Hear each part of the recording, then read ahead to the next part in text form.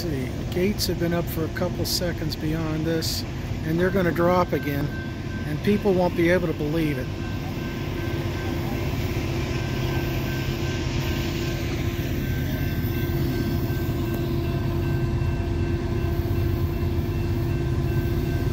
The gates were up for about 12 seconds